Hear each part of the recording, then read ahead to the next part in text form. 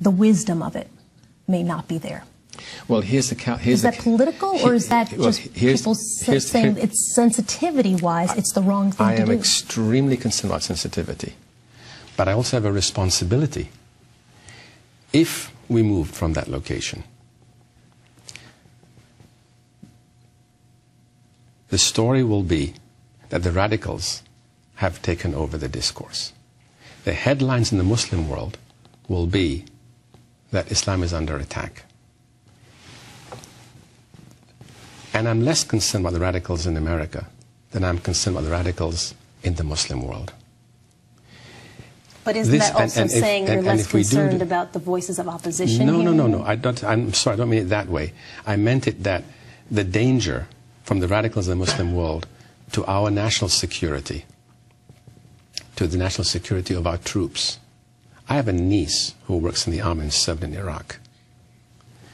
Um, the concern for American citizens who live and work and travel overseas will increasingly be compromised if the radicals uh, uh, are strengthened. And if we do move, it will strengthen the, the, the, argument of the radicals to recruit, their ability to recruit, and, and their increasing uh, aggression and violence. The idea of is to establish something like a Muslim Y.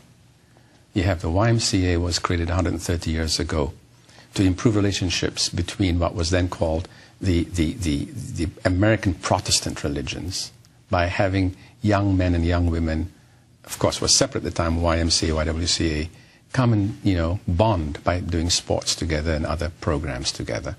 It's become a worldwide phenomenon. The 92nd Street Y was the first attempt by the Jewish community to create also a center where you would create this kind of bonding. We are now today where the Jewish community and the Catholic community was maybe 70 years ago, a century ago.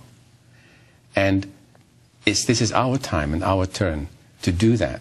What's I mean, on the table? Uh, the, the, biggest issue is a national security issue. How do you pull out without looking like you've lost? without, without, making, without making it look like, without making it look both in this country and in the Muslim world. You must remember Soledad, and, and Americans must remember that what we do is watched all over the world. All over the world. And we are very engaged with the Muslim world. Very engaged.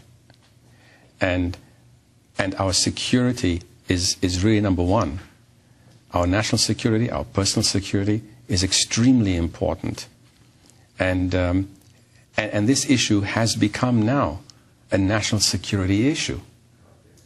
And, and therefore, in our conversations, in our decision making process, we have to weigh many, many factors, and that has been dominant among them. Is there a middle ground?